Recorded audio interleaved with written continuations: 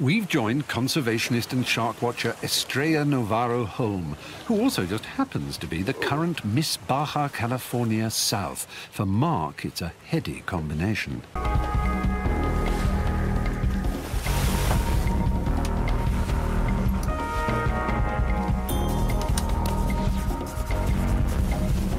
See you later. Good luck. The tape measure. I've got the tape measure, don't worry about that. No, we need it. Yeah, you'll need it when you're in. We can hand it to you. Then they're going to have to straight.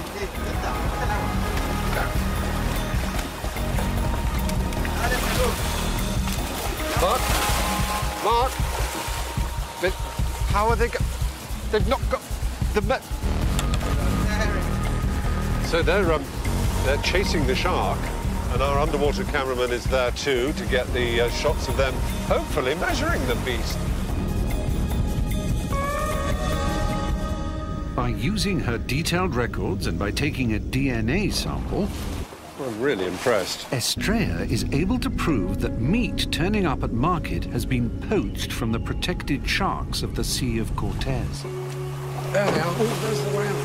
The whale shark.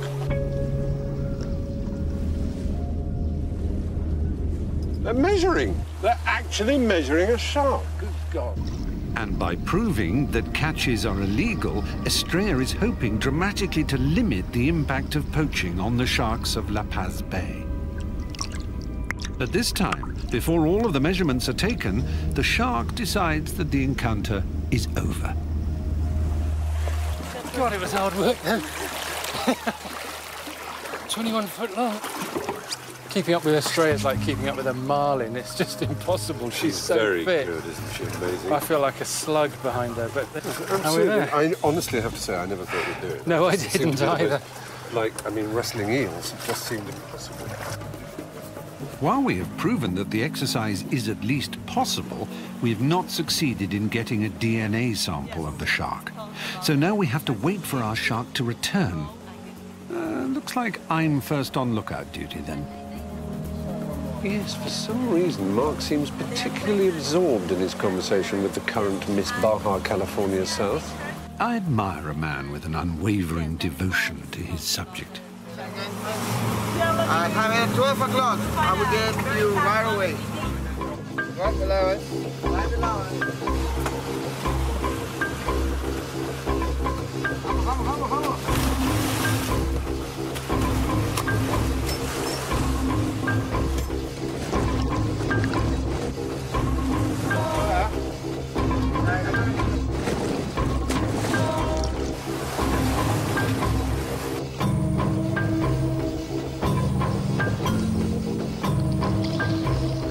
You the stick?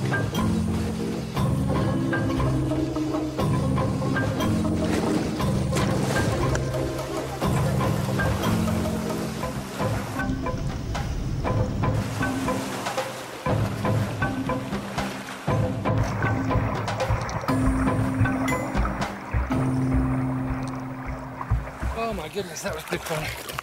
And the dorsal fin length is 55 centimeters. Oh, very good, 55. And did you discover what sex it was? Male. Male. Yeah, you could see the claspers. Right. I don't quite know what a clasper is, but it sounds interesting. It's the shark equivalent of a willy.